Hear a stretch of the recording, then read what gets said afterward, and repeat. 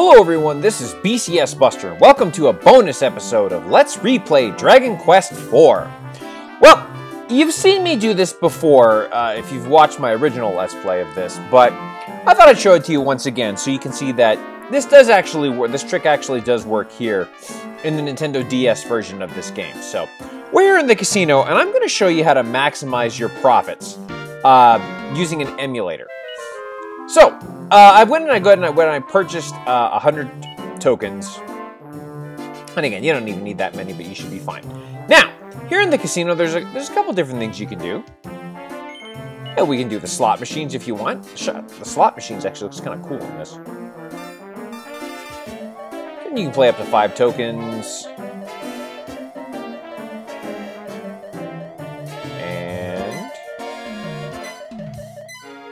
Bad luck, so... Yeah, so there's how that works. So again, you can just do the slot machines if you want. I don't really like the slot machines, but you can do them if you want. Uh, the other one I'll show you here is the Monster Fighting Arena. Uh-huh. Woo! Let's see, who are we going to take to win? Now, uh, now the Bodkin Archer should win. Uh, and let's buy... Buy 40 tickets, sure. Let's see what happens.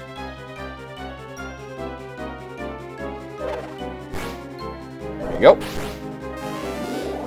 Oh, yeah, yeah, yeah. So that's that's why the Bodkin Archer is such a a favorite, because he's got buff on him. And the Bullfinches may attack each other. Yeah.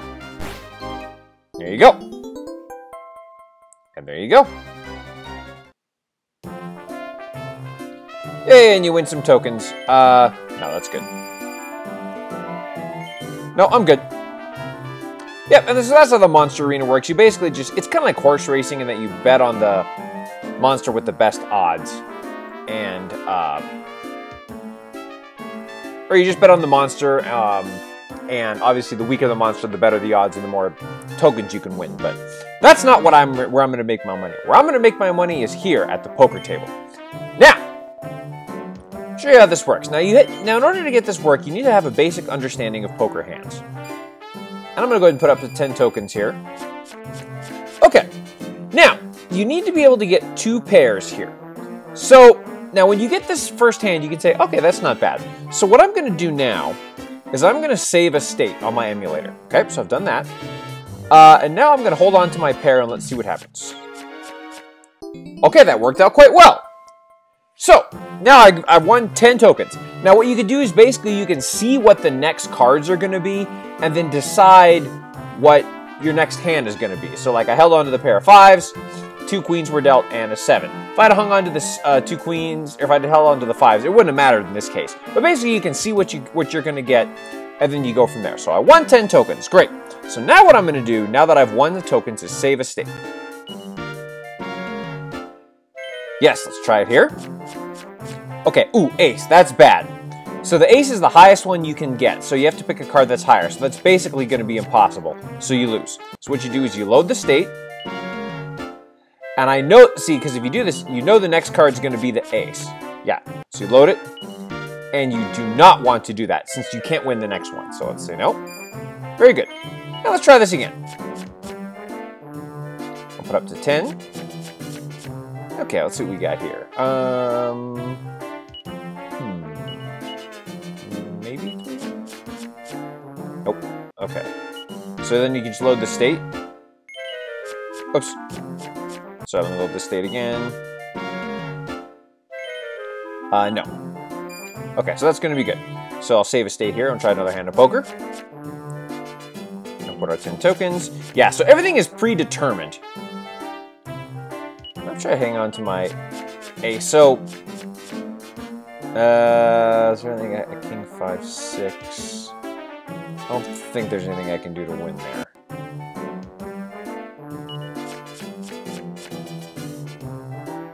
And sometimes you're just not to win. Like, it's just, it's just not to happen there.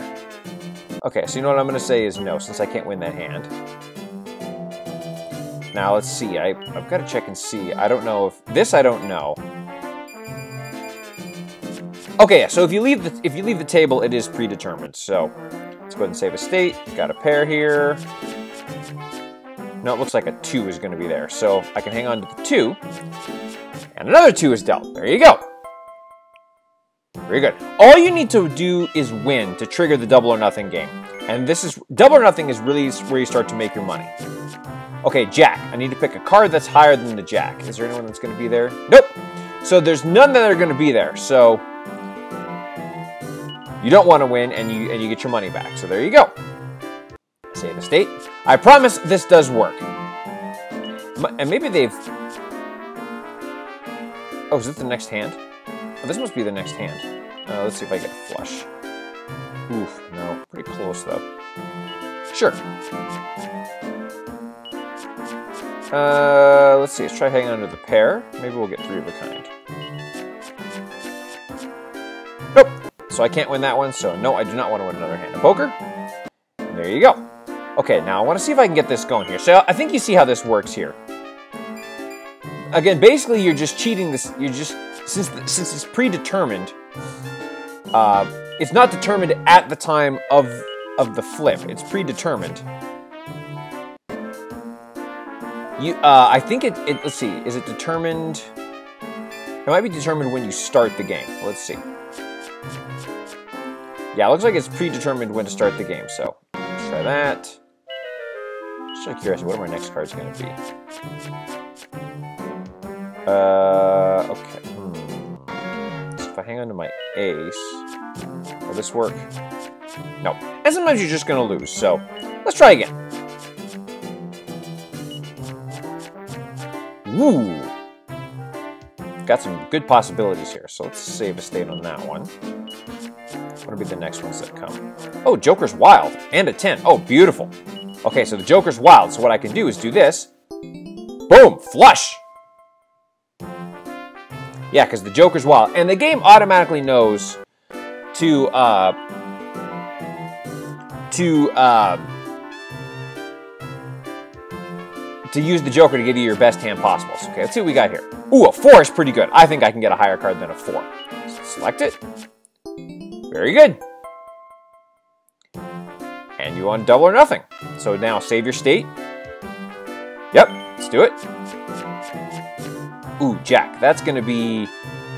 That's going to be tough. Let's see if the Jack would come up. Nope. Okay, so you can't win this next one. So what you want to do because, like, see, if you do the jack will come up again. Right, so you say no. Uh, and then no, because we, because we can't we can't win there. So very good. And that's how that works. All right, so it's let's see what we got here.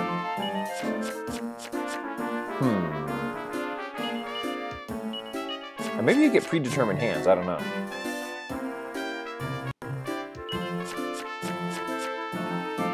Okay, let's see next card's going to be? Let me see. 8, 7, 8, 9, 10, jack. I got a 9 in there.